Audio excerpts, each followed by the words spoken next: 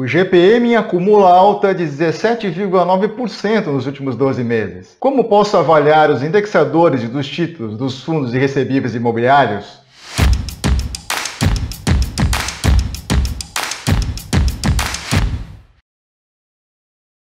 Atualmente, os fundos de recebíveis imobiliários, também conhecidos como fundos de papel, têm ganho grande audiência entre os investidores de fundos imobiliários. O segmento de recebíveis imobiliários é o segundo maior em número de fundos listados na B3. Só fica atrás do segmento tradicional de lajes corporativas. Já são 66 fundos listados do segmento de recebíveis com um valor total de patrimônio que já soma mais de 25 bilhões de reais. A grande maioria dos investidores avalia primeiro o perfil de risco de crédito do fundo, ou seja, se um perfil é mais high yield, com maior risco de crédito, ou high grade, com menor risco. Entretanto, tem outro fator que tem impactado no resultado da distribuição dos dividendos e tem chamado a atenção dos investidores. É o indexador. A maioria dos fundos tem títulos indexados ao GPM, IPCA ou CDI. O foco do Drops de hoje são os indexadores de inflação. Mas qual é o melhor indexador? Essa pergunta surge principalmente pois nesses últimos 12 meses o IGPM acumula alta de 17,9%.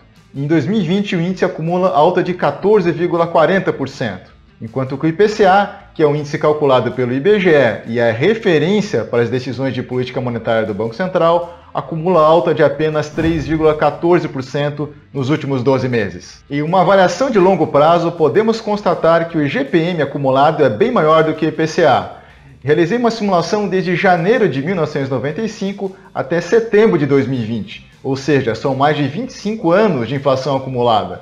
O IGPM de janeiro de 1995 até setembro de 2020 acumulou uma alta de 708%. Já o IPCA, no mesmo período, acumulou uma alta de 430%. A diferença de 278% é bem significativa. Nessa amostra de longuíssimo prazo, então podemos constatar que o investidor que alocou ativos ou estava exposto a contratos indexados a GPM em algum período dessa amostra, teve uma probabilidade de ganhar mais do que quem estava indexado ao IPCA. Entretanto, esse maior potencial de ganho está associado a um risco maior, pois o GPM tem uma volatilidade né, ou uma oscilação maior do que o IPCA, como podemos ver no gráfico da inflação mensal desse período dos dois índices.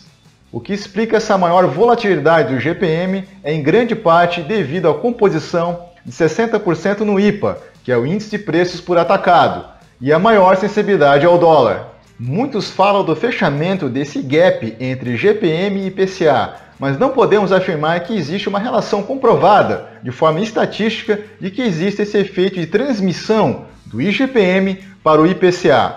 Mas o ponto principal é alertar os investidores de fundos e recebíveis imobiliários, pois quem já está posicionado nesses fundos com carteiras predominantes em GPM tem colhido esses dividendos maiores. Agora é preciso ter mais atenção ao investir nesses fundos, principalmente aqueles investidores que só avaliam o dividend yield com base na distribuição dos últimos 12 meses. É preciso ter muita atenção. Então, atenção também para o indicador PVPA, pois os fundos que aumentam sua distribuição pode gerar aumento dos preços das cotas no mercado muito acima do seu valor de patrimônio. Depois de um jump tão grande do GPM, a probabilidade de uma reversão começa a ficar maior. Desde 1995, isso ocorreu algumas vezes. Por exemplo, em 2008 o GPM foi de 9,8% e o acumulado no ano seguinte, em 2009, foi de menos 1,71%. Em 2010 foi de 11,32%, em 2011 foi de apenas 5,53%. Em 2015 e 2016, o acumulado desses dois anos foi de 18,46%. E em 2017, o GPM acumulado foi de menos 0,53%. É importante ressaltar que também tivemos períodos longos com o GPM elevado em uma sequência de seis anos, como entre 1999 e 2004. Fiz um gráfico com a média móvel de 12 meses do GPM nesse longo período para facilitar a nossa leitura. Percebemos que a média mensal está em seu maior nível desde 2004. Esse pico é um dos maiores dessa série histórica, ao contrário do IPCA. O mesmo gráfico da média móvel de 12 meses do IPCA indica que estamos historicamente em um dos pontos de menor nível de inflação. A dúvida é até que ponto o IGPM transmitirá essa alta para o IPCA em um futuro próximo. Isso, claro, depende de uma série de fatores. De qualquer forma, essa avaliação é importante para o investidor. Dependendo do seu perfil, alocar em fundos com uma composição mais equilibrada entre esses dois indexadores, incluindo também o CDI, pode ser uma boa opção. Tem alguns fundos conhecidos no mercado que têm carteira predominante em GPM, como o Barigui Rendimentos, com 73,3% indexado a GPM, o Apta 2, com 53,5%, e o Hectare, com 52%.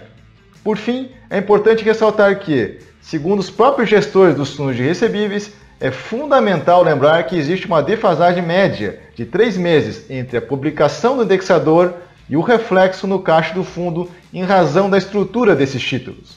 Se você gostou desse vídeo, deixe seu like e faça seu comentário. Obrigado e até mais!